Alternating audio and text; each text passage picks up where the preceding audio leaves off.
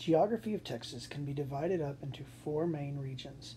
Of these four region, regions, each one can then be divided into smaller regions. The first region we're going to look at are the mountains and basins. This is located in far west Texas. It is a very rugged land. One of its main features are mountain ranges and peaks. The mountains and basins region has the highest elevation in the state. There are seven mountains in it over 8,000 feet tall. Of these, we also have the three main ranges in Texas the Guadalupe Mountains, the Davis Mountains, and the Chisos Mountains. In these, in the specifically the Guadalupe Mountains, Guadalupe Peak is the highest point in Texas at 8,667 feet high.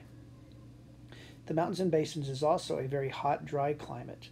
The Chihuahuan Desert covers much of the mountains and basins region. The entire area is affected by a lack of rain and hot temperatures. The plants and animals have adapted to this hot, dry climate. The plants are mainly ones that require little water, such as cactus, yucca, and creosote bushes. The animals have also adapted to this. It is populated by elk, mule deer, cougars, javelinas, rattlesnakes, and other animals that thrive in a desert climate. Several specific natural landmarks are prominent in the mountains and basins region.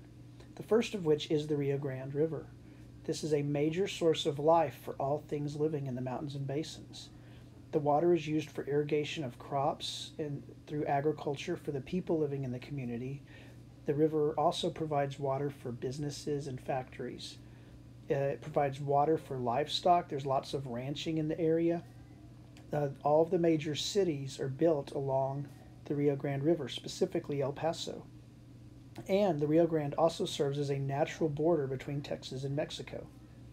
The other major natural landmark in the Mountains and Basins region is Big Bend National Park. As the Rio Grande curves in West Texas, this area becomes known as the Big Bend.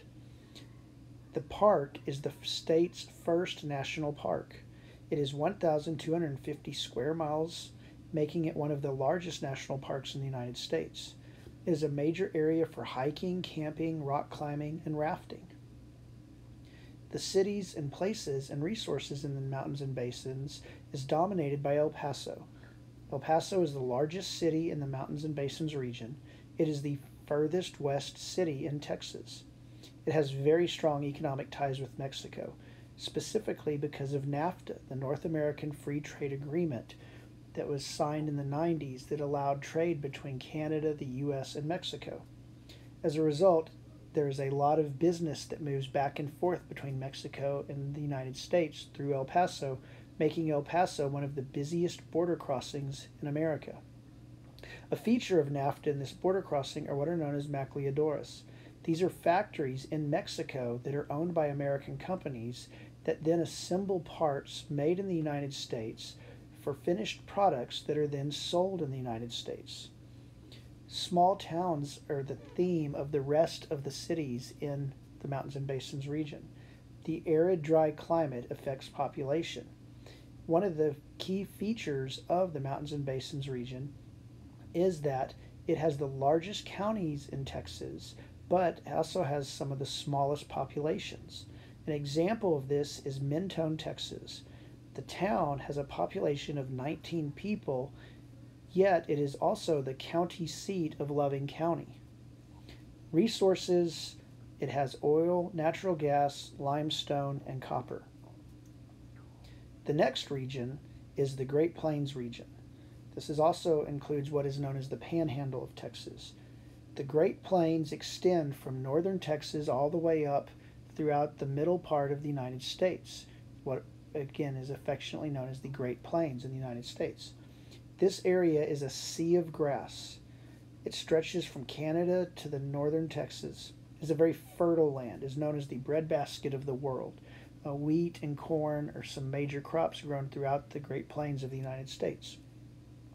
In Texas, the land was once covered with bison and nomadic Native American groups, similar to the rest of the Great Plains in the United States. Farmers have since plowed up this native ground, planted corn and wheat, and changed the ecology of the region. In the Texas panhandle, oil and gas has been a major part of the economy in the 20th century to go along with agriculture.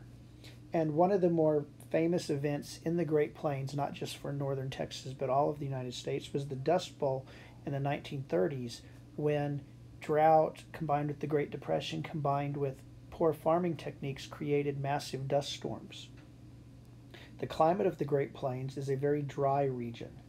Its elevation is higher than that of East Texas, but not as high as the mountains and basins. As a result, they get very little rain and are forced to use dryland farming in the Ogallala Aquifer as sources of water for their agriculture. A part of the Great Plains region in Texas is the High Plains. This is the northern part of the region in Texas. The landscape and rivers are great, flat expanses of land. Uh, again, what is known as the Great American Desert or a sea of grass are phrases you'll hear to describe the High Plains. Two major rivers in this area are the Canadian River, uh, which is the northernmost major river in Texas, and the Red River, which serves as the boundary between Texas and Oklahoma, but then flows into the panhandle of Texas. Also, another major feature of the High Plains is Palo Duro Canyon. Palo Duro Canyon is the second largest canyon in the United States behind the Grand Canyon in Arizona. Just below the High Plains are the North and South Plains. This region is divided up. With the North Plains, you see an area of oil, farming and cattle ranching around Amarillo. And in the South Plains, you have the Lubbock area, which is dominated by cotton. At the bottom of the South Plains is the Permian Basin oil field, which is one of the largest, most productive oil fields in the world. Furthermore, in the Great Plains area is the Edwards Plateau. This is the area between the Rio Grande and the South Texas Plains the land here is thin soil, very scrub brush, lots of mesquite trees. Uh, there's not a lot of agriculture there of growing of crops. Instead, the Edwards Plateau is a prominent part for ranching uh, with lots of cattle, but also sheep and goats. Uh, this is the area is a major producer of uh, mohair, of goat hair, and also sheep. Uh, a part of the Edwards Plateau is the hill country of Texas, Fredericksburg is probably one of the more famous cities in the hill country, settled by German immigrants. And then you have the Llano Basin. Here are two major rivers, the Colorado River and the Llano River, come together. They are, uh, have had dams built along the Colorado River throughout the early part of the 20th century, creating a series of lakes that provide water for the towns in the area. So we've seen a growth of towns in this area. Uh, the economy of the Llano Basin is tourism, is a major part of it, but also hunting and livestock production. Uh, deer hunting is a major part of this area. The third region of Texas, now as we continue to move east, is the North Central Plains. This is a cliff bound region. Hills and valleys with grasses, brush, and small trees dominate the area it gets a little bit more rain than the Great Plains. So as we move east, the amount of rain increases. It is a very rural area with low population. Uh, cattle ranching and some farming dominate the north central plains. In it, you have an area known as the Rolling Plains. This is the largest area of the region. Its climate, terrain, and economy are very dry. Lots of grass, scrub plants, lots of hills and mesas. Uh, the economy is trade, business. There's some ranching, uh, you some oil, some natural gas. It's not as prominent as the Permian Basin. In the rolling plains, the major cities you see are Wichita Falls at the northern part, Abilene is a part of the rolling plains, and then San Angelo. Continuing to move east within the north central plains, we come across what are known as the cross timbers and the Grand Prairie area. These two areas that used to be heavily forested uh, with a plain between them. So the heavily forested area was known as the cross timbers, with the plain being the Grand Prairie. In the cross timbers area, timberland and the timber industry was a main part of the economy. These are traditional trees, native trees such as live oaks and pecans, which were used for lumber early on in Texas history. Now, most of this region has become uh, farming and ranching. And in the cross timbers, you see cities such as Brownwood and Arlington. In between is the Grand Prairie. This is a, a, area of tall grasses with ranching and crops, of which Fort Worth, whose economy originally was dominated by the cattle industry, with the stockyards located there. Uh, and so it's in that area that you will see the Grand Prairie, this flat land. The final area and the biggest region is the coastal plains. These cover from almost all of East Texas down along the Gulf Coast, all the way down into South Texas. Again, it is the state's largest geographic region and it contains the biggest cities and the majority of the state's population. Because of its relative location to the Gulf of Mexico, the coastal plains has a hot and humid climate. It is a very coastal climate. Winds from the Gulf of Mexico deliver rain to the region. The resources here in East Texas, you have the pinewood forests, you have good soil for agriculture, specifically cotton, uh, livestock. In East Texas, we had our, some of our first major oil fields, specifically Spindletop in 1901, which is credited with starting the Texas oil boom. In the coastal plain, as you move west, you have the next little subregion known as the Blackland Prairie. This is the area around Dallas, which is the third largest city in Texas. It is a major cotton growing area. Uh, it is also, Dallas is a major center for business, technology, and finances. Moving south through the Blackland Prairie, other cities are San Antonio, which is the second largest in Texas, uh, it has military bases, tourism, as well as other industries have grown up there. And then Austin, which is the capital of Texas. Moving further south and east from there, you come into the Post Oak Belt. The Post Oak Belt is rather interesting. There's really uh, not a lot of large cities.